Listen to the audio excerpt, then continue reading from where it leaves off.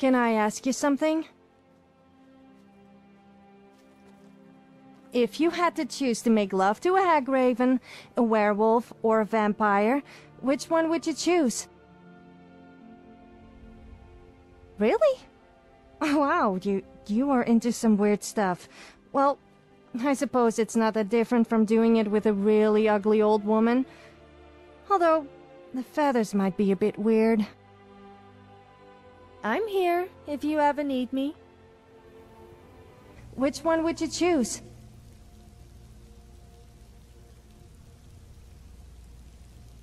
Well, I hope you mean when they are in their human form, as I'm sure that's illegal otherwise. Which one would you choose?